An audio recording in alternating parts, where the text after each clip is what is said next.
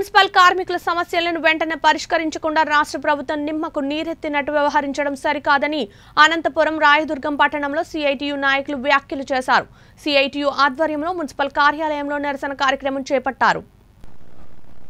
Out sourcing కార్మికుల సమస్యలు పరిష్కరించాలని డిమాండ్ చేస్తూ రాష్ట్ర వ్యాప్తంగా అవుట్ సోర్సింగ్ పారిశుధ్య కార్మికులు మొదటి రోజు సమ్మె నిర్వహించారు. మలకల్మురు రోడ్డు నందు గల అంబేద్కర్ విగ్రహానికి పూలమాల వేసి అనంతరం అక్కడి నుండి వినాయక సర్కిల్ లక్ష్మీ బజార్ మీదుగా నూతన మున్సిపల్ కార్యాలయం వరకు కార్మికులు ర్యాలీ చేపట్టారు. ఈ సందర్భంగా సిఐటియు జిల్లా కమిటీ సభ్యులు బి మల్లికార్జున్ మాట్లాడుతూ కరోనా సమయంలో తమ ప్రాణాలను పణంగా పెట్టి ప్రజల ప్రాణాలను రక్షించేందుకు నిరంతరం శ్రమిస్తున్న మున్సిపల్ అవుట్ సోర్సింగ్ కార్మికుల సమస్యను పరిష్కరించడంలో రాష్ట్ర ప్రభుత్వం నిమ్మకు నీరెత్తినట్లుగా వ్యవహరించడం సరైంది కాదని మండిపడ్డారు.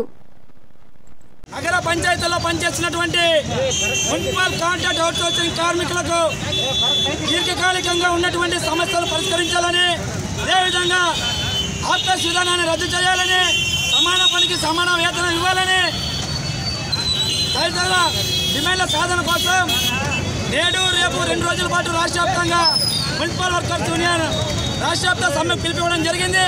అందులో భాగంగానే రాయదుర్గం పట్టణంలో కూడా ఈ సమ్మె నిర్వహిస్తున్నాం. మేము రాష్ట్ర ప్రభుత్వాన్ని ఒకటి డిమాండ్ చేస్తున్నాం. అయ్యా జగన్మోహన్ రెడ్డి గారు మీరు ఆనాడు పాదయాత్ర చేస్తున్న సందర్భంగా మున్సిపల్ కార్మికుల సమస్యలు మేము మీ దృష్టికి తీసుకొస్తే మీరు స్పందించిన విధానానికి ఆ మున్సిపల్ కార్మికుల తరఫున మీ అందరూ ధన్యవాదాలు తెలియజేస్తున్నాం.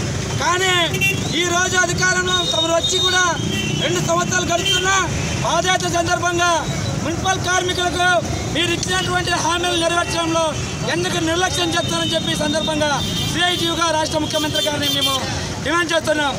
ఈరోజు రోజు విధానం తీసుకురావడం వల్ల రాష్ట్ర కార్మికులు అనేక ఇబ్బందులు పడుతున్నారు. ఇబ్బందులు ఎదుర్కొన్నటువంటి పరిస్థితులు ఏర్పడుతున్నాయి. గత పది నెలలుగా కార్మికులకు ఈపీఎఫ్ కానీ పిఎఫ్ కానీ సొమ్ము వాళ్ళకి ఇచ్చేటువంటి జీతాలు కట్ అవుతున్నా ఇప్పటి వరకు వారికి ఖాతాలో జమగా అయినటువంటి పరిస్థితులు ఎక్కడ కూడా లేవు. అదేవిధంగా సుప్రీంకోర్టు ఈరోజు దేశ అత్యున్నత న్యాయమైనటువంటి సుప్రీంకోర్టు చేసే పని స్వభావం ఒకటే ఉన్నప్పుడు ఇచ్చే వేతనాలలో తారతమ్యం ఉండకూడదు.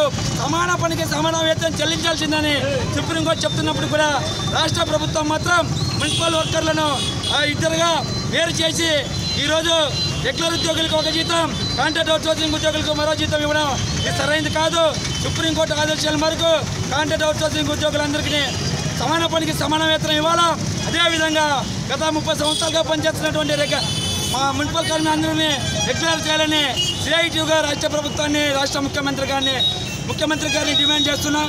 ఇప్పటికి స్పందించి మున్సిపల్ కార్మికుల సమస్య పరిష్కారానికి చొరవ చూపాలని లేని పక్షంలో ఈ ఉద్యమాన్ని మరింత తీవ్రతరం చేస్తామని రాష్ట్ర ప్రభుత్వానికి హెచ్చరిస్తున్నాం.